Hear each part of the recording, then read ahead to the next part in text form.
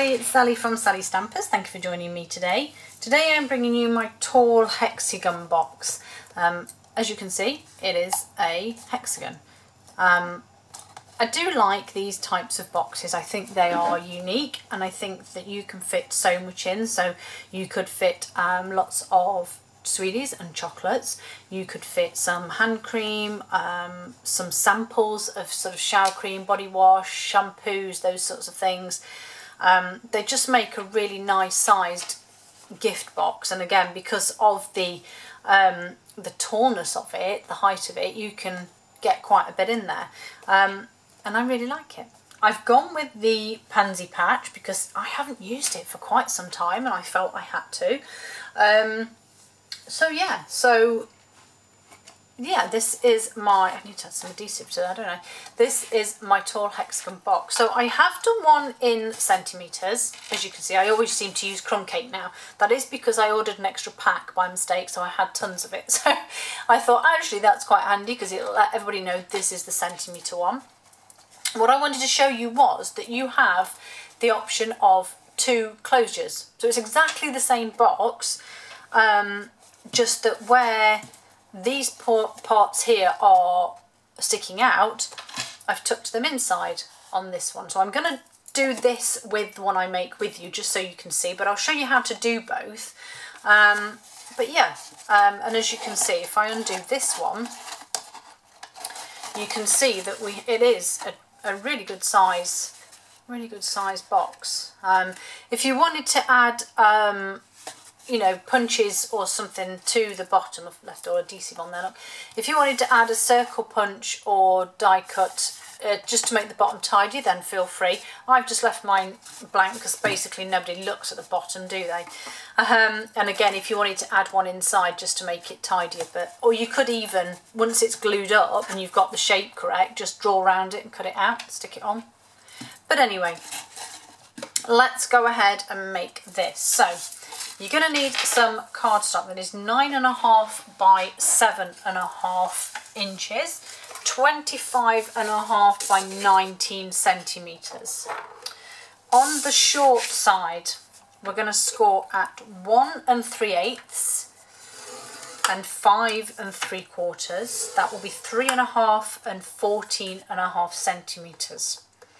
We're going to rotate it anti-clockwise and on the long side we're going to score at one and a half, three, four and a half, six, seven and a half, and nine. And in centimetres, that will be 4, 8, 12, 16, 20, and 24. Whilst you've got this here, we're then going to mark at three quarters. So you're literally just putting a very small mark just on the card. Three quarters, two and a quarter, three and three quarters, five and a quarter, six and three quarters, and eight and a quarter. And in centimetres that will be 2, 6, 10, 14, 18 and 22. Okay. Where you've made these marks, that roller again, um, we are going to go with from the mark down to the score line okay? So you can just about see that. So yeah so we're going from the mark we're doing a triangle. This is where we get these shapes from.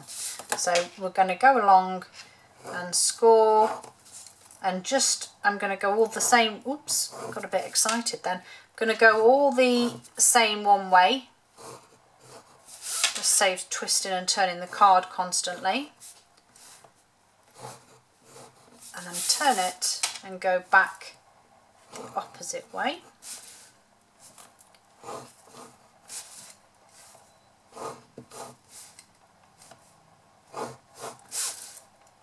All the way along to the end. Last one. There we go. Okay, fold now all of your, can you see how the sun's bleached my card? I was away at the weekend, uh, well I'm saying at the weekend when this comes out, so okay I was away last month um, and I prepared all my videos ready for filming but just ran out of time Um, so I left them on the floor in my craft room. Well, that, that caused a tale of two stories. Firstly, um, my husband came in to me when I was watching TV just before I went away and said, what is this? Um, and it was silver foil off some chocolates that I'd left in a box prepared on the floor and my dog had been in and got them. So I was not impressed with that. Um, and secondly, yeah, unfortunately, the sun came through and bleached my card. But luckily, that's on the inside, so you can't see it. Okay, so once we've done all of that folding and burnishing, we're going to go on this section we haven't scored the diagonals on. And we're just going to cut up each one.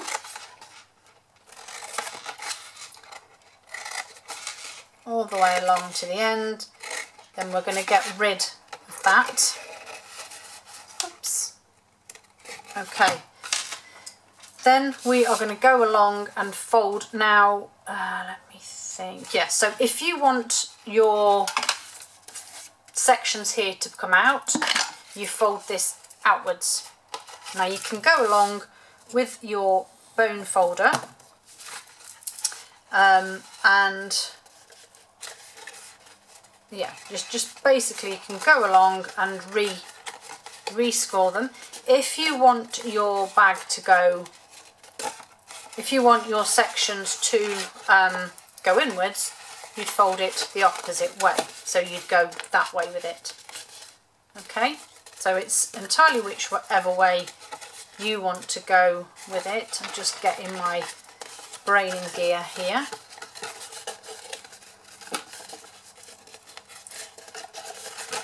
Okay, so as you can see, I'm literally just folding one way and the other and then just going over this piece here.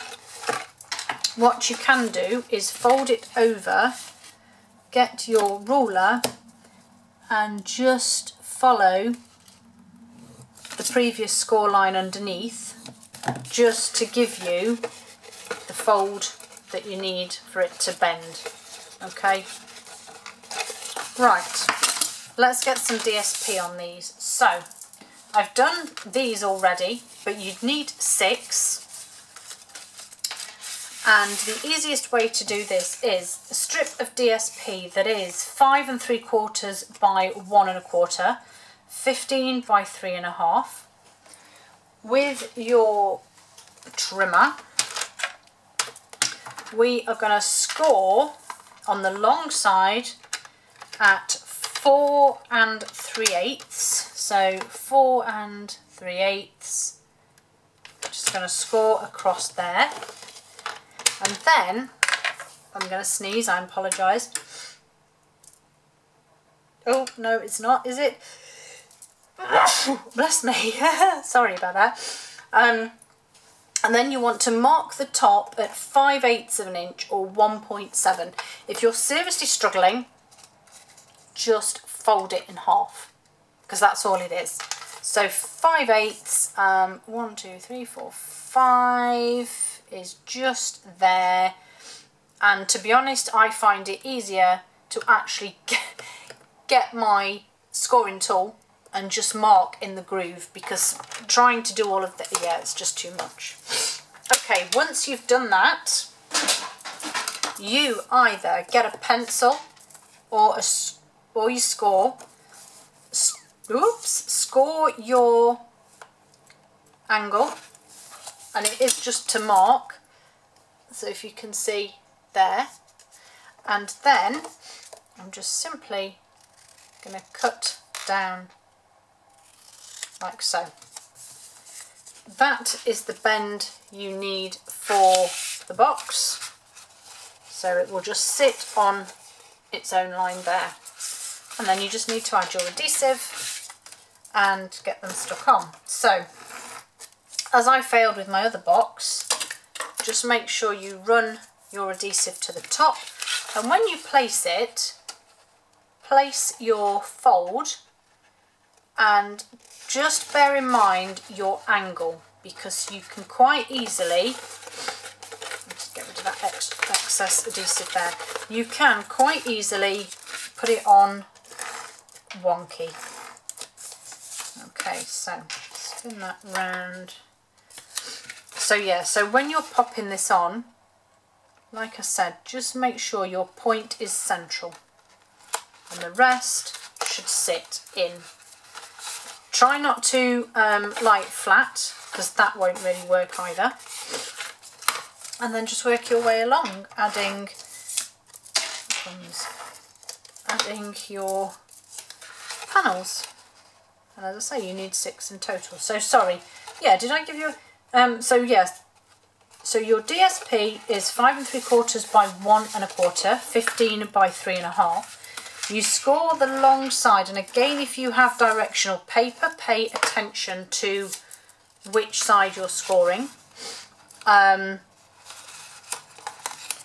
uh, yeah, four and three eighths or 11 centimetres. I think I missed that measurement out. And then um, mark the top at 5 eighths or 1.7, basically halfway. And then you can either draw, cut, score your centre line and create your um, triangle on the top. So just squeeze this in. And it does actually go pretty much down to the base here. Last one. And then we can put this delightful box together. Last one, last one. So pop it on the fold first, line the point of that up and then there we go. Okay, so now I'm going to put some adhesive down here and join all of this together.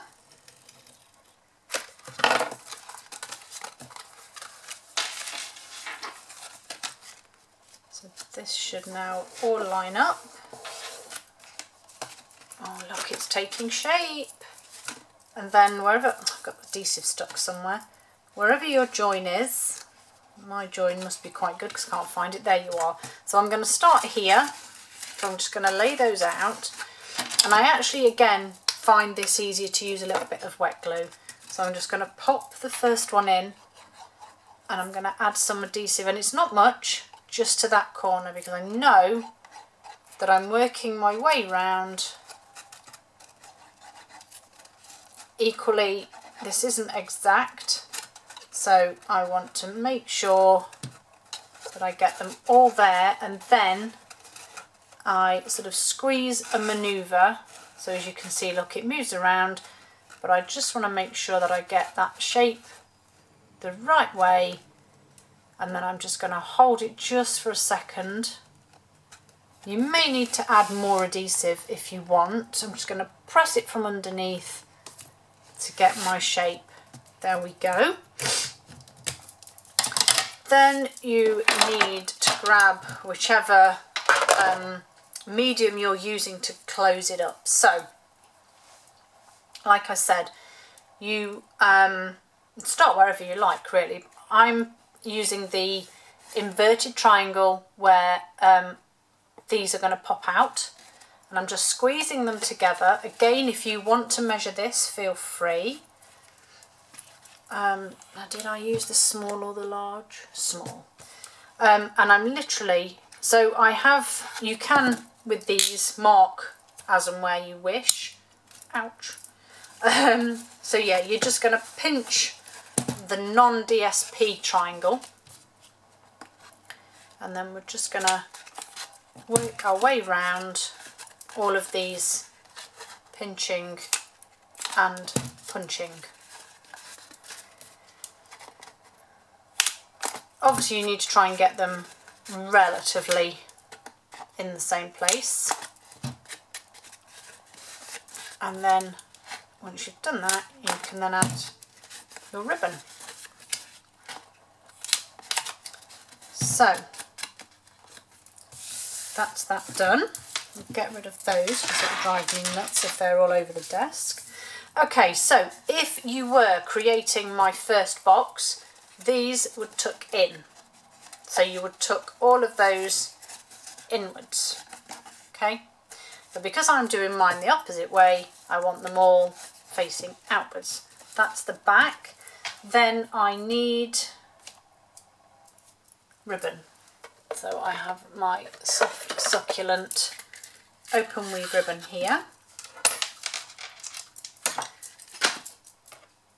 And then you're just going to start from the front, whichever whichever you have as the front, and you're just going to work your way around. Now, if, like me, you don't have the patience for this, I have um, darning needle, a bodkin, whatever anybody calls it. It's quite a large needle. Um, and I'm literally just going to thread my ribbon through. And this does make it a lot quicker. Squeeze those holes together because we've already punched them. In fact, you can't do it that way. Oh, I've done this back to front in terms of the... Oh, no, wait a minute. Oh, no, you can. You can kind of loop from one to another. So you can just go through and as I said this will make it a lot quicker than trying to feed that ribbon through by yourself. And it stops the end of the ribbon fraying too which is also very helpful. Look at that, see done in seconds. So let's pull some of this ribbon through. just because I have a longer end. And then you, if you pull it, it should, famous last words, I've done this the wrong way around. Anyway, this should now, that's right. It might, like me, take your brain a minute to fathom it out. I think it's because my ribbon is the wrong way round. Okay, more haste, less speed. Let me quickly undo that. Good job I had my uh, needle, isn't it? Otherwise it would have taken even longer. And I'd still be threading it and then get it wrong. Okay.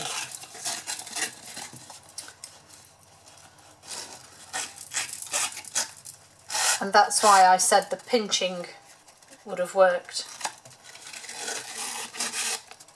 Okay, I'm going to do it right. I'm not determined to leave it wrong for you guys to see. Right, let's, let's thread this.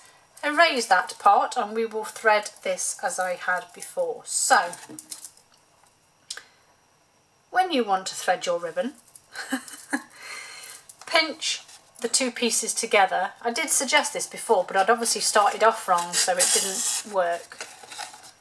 That's it. Pinch them together, thread them through. And see how much quicker that is.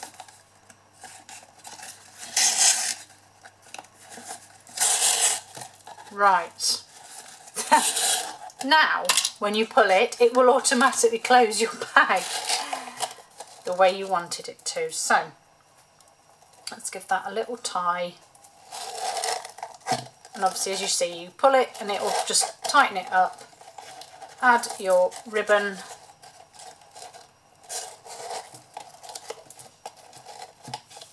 It's probably a bit too big that bow. There we go. Trim those tails. And then I'm going to very quickly show you my stamped image. So there it is like I said two options of closing so I have the Label Me Lovely Punch, some beautiful basic white. I'm just gonna, it does fit, I just, I think I was trying to be uh, a scrimp and save because I didn't want to waste any. Okay, so do some stamping, pansy patch, love pansy patch. So small flowers. So let me grab some blocks. So I'm going for the two smaller flowers here. This one is the larger one. So one on there, one on there. And then I need, from the other sheet, I need this small one here.